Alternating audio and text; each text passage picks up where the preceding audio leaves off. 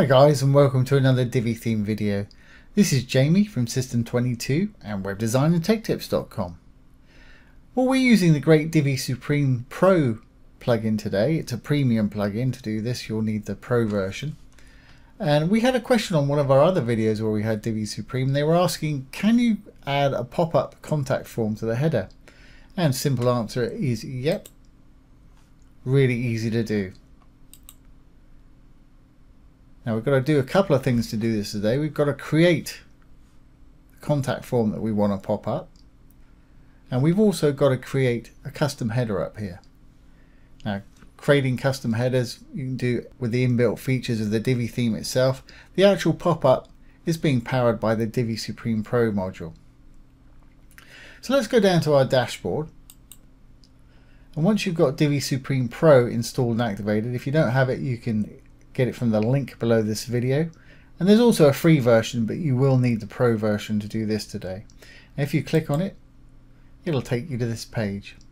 You want to make sure that you've got Enable Divi Pop-Up set to on right there, so it's purple, just like that. Once you've done that, save your changes. If you forget to do this, this will not work today. So make sure you do that. Okay, so the first thing we need to do is create the contact form that we're going to have pop up and save it to our library. So let's enable the Visual Builder. Once enabled, I'm going to go down and just add a new module, contact form module. It doesn't matter where we put it because we're going to delete it after we've saved it to our library. So I'm going to just add it right here. Divi comes as standard with all the light grey modules here. When you install Divi Supreme Pro, you get another 40 or so modules, these dark blue ones here, and there's some absolutely awesome modules here, there really is. So we're going to use a regular Divi contact form to make our little form. There it is right there. Um, I'm going to keep this very simple. I'm not going to spend too much time styling this form. I think I'll add a new field just for a subject or something like that.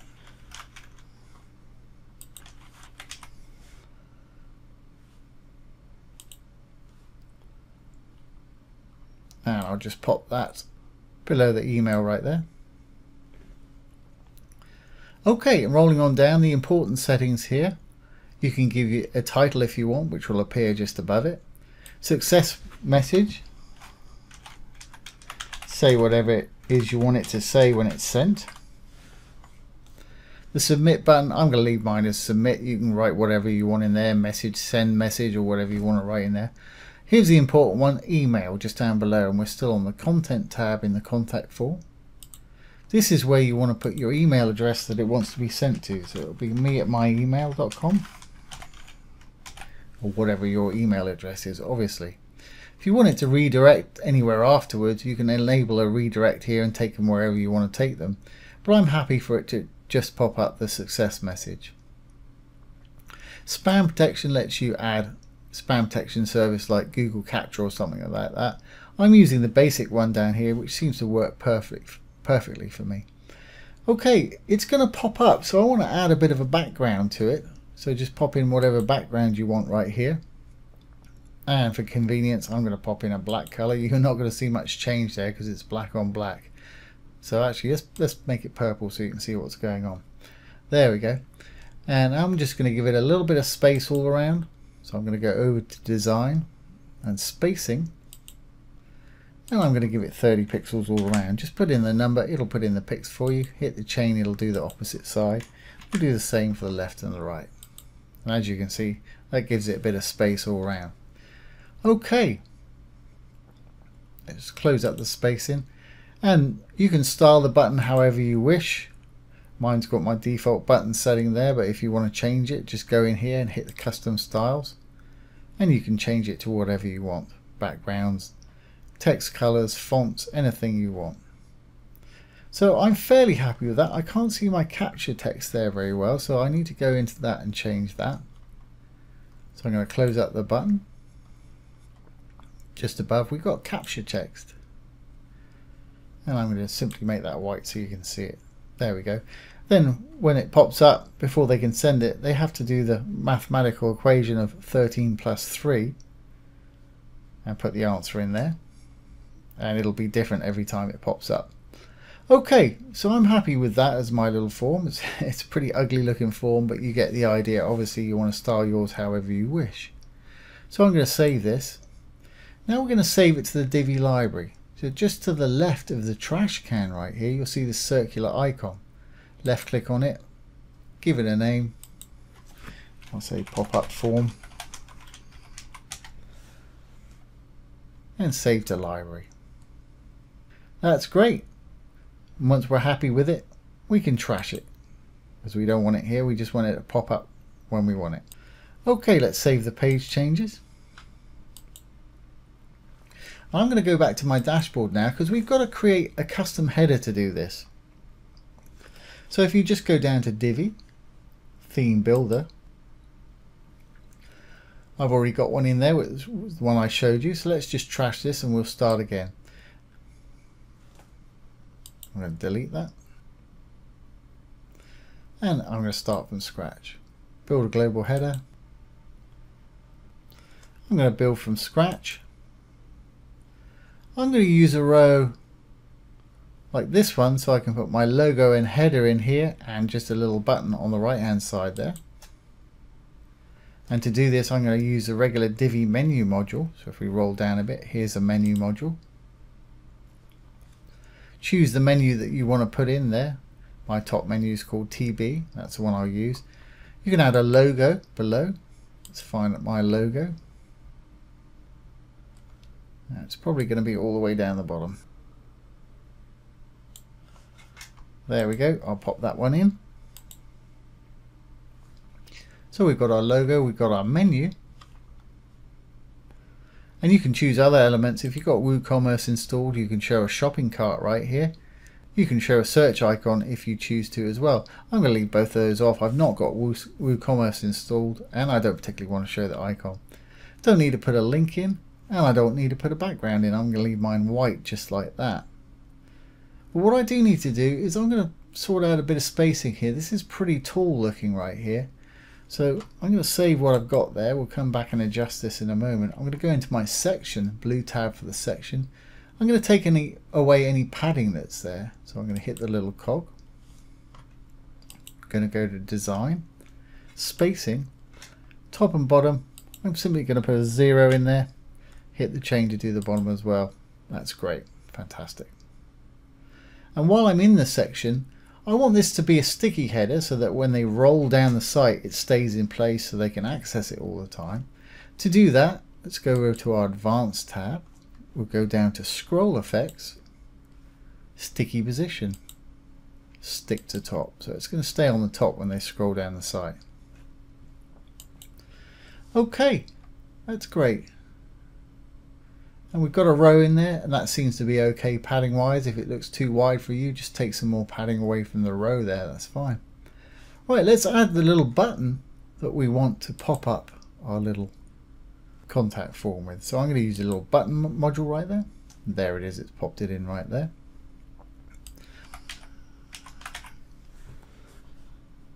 Button link I don't even need to put one in because we're going to use it to pop up our module in a moment but I will style it a bit more like our site here. So let's go to design. Alignment wise, I'm going to align it to the left so it's a little closer. That's the default for it at the moment. You can put it in the middle or on the right.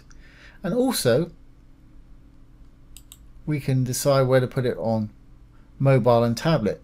If you hover over the dark writing here, and this is common to most Divi modules, you'll see some icons pop up. There's a little mobile phone type icon there, you can change the settings for tablet. It's on the left there and our little hamburger menus on the right. I think I'll put it in the middle for tablet. And for phone, that works in the middle for tablet too. That's great. Okay. Well, let's go back in and I'm going to make that button design wise. I'm going to go down to the button. Use custom styles for button. I'm going to use the same colours for my logo here. Now let's just pop it back to desktop.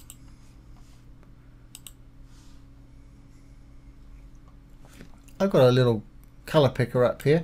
So let's grab the colour that I'm using in the logo right there. Copy. Text color is absolutely fine. I might take it down in size a little bit. It's 20 pixels. I'm going to take it down to 16. I think I'll make my menu text 16 pixels also in a minute. And you can slide or you can type in a value and you can increment up and down with the little arrows there. Button text color, I'm going to leave that just as it is at white. Here's the background. Okay. So I want to add that color that I just copied. There it is, there's that dark blue color. And let's, for the hover state, perhaps have that light blue color. And again, hover over the dark writing there. And if you see a little arrow, you can set a hover and a desktop state. Desktop's when your mouse isn't on it. Hover, obviously, when your mouse is on it. So for the hover state, let's give it this light blue color here.